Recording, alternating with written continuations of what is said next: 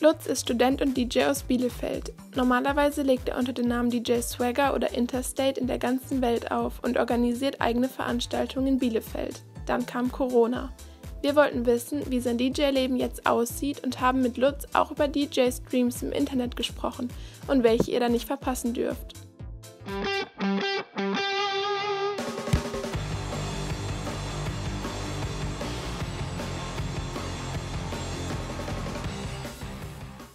Ja, hi, ich bin Lutz. Äh, ich mache seit ja, gut sieben, acht Jahren jetzt Musik elektronisch. Ich mache Musik als Interstate und DJ Swagger und verdiene halt mit den Produktionen weniger, aber mehr mit dem Auflegen mein Geld die letzten paar, vier, fünf Jahre. Ja, also es ist jetzt nicht so super glamourös. Äh, eigentlich ist es halt, dass ich ja gut fast jedes Wochenende, fast oder jedes zweite Wochenende halt irgendwie einen Gig habe in irgendeiner Stadt. Äh, meistens europäisches Gebiet.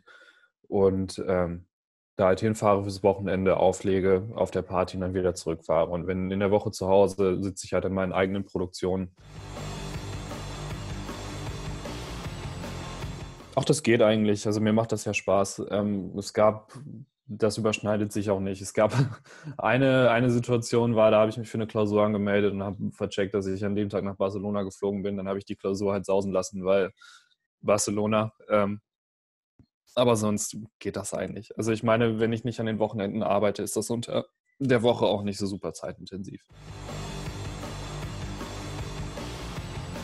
Ja, DJ-Leben existiert ja jetzt nun so im weitesten Sinne erstmal nicht mehr, weil mit DJ-Leben verbinde ich halt Reisen und Auflegen in fremden Städten auf Partys und äh, dadurch, dass das jetzt wegfällt, fällt natürlich auch ja, erstens meine Haupteinnahmequelle weg und zweitens halt, ja, dieses, dieses Gefühl von rumreisen und halt coole Sachen machen. Jetzt shiftet der Fokus halt so ein bisschen und äh, ich glaube, ganz viele DJs wissen gerade nicht, wenn das halt die Hauptprofession war, wie Geld ins Haus kommt und da muss man halt irgendwie Umwege finden, um jetzt Geld zu verdienen.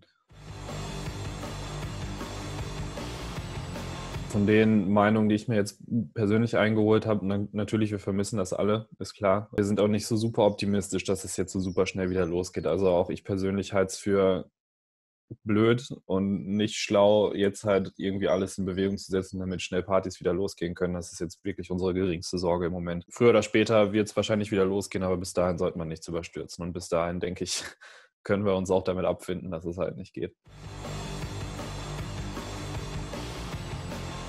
Ich, also im Grundprinzip finde ich super, dass jetzt halt natürlich äh, umso mehr Musik irgendwie zugänglich wird, äh, desto mehr Leute können sich daran erfreuen natürlich. Auf der anderen Seite sehe ich da eine, ein bisschen eine Gefahr drin, weil natürlich nicht nur DJs jetzt gestreamt werden, sondern wir hatten auch schon Streams von ganzen Konzerten, die alle kostenfrei waren, wo niemand was bezahlen musste, um da halt mitzumachen, die Musik zu hören. Wenn es so viel Musik umsonst gibt, und frei zugänglich ist, dann hat irgendwann keiner mehr Bock, irgendwie für Musik zu bezahlen. Und dann sind die Leute, die darauf angewiesen sind, dadurch zu verdienen, halt natürlich äh, auf gut Deutsch ein bisschen am Arsch. Und es gibt halt so super viele Livestreams im Moment, das, da kann sich halt jeder was, jeder was rauspicken, das ist super. Ähm, muss man halt nur gucken, wie lange dieser Trend anhält. Also an dieser Stelle kann ich ja Werbung machen für meine Freunde vom Nummer zu Platz aus Bielefeld. Ähm, die Seite heißt Diffuser Seance auf Facebook.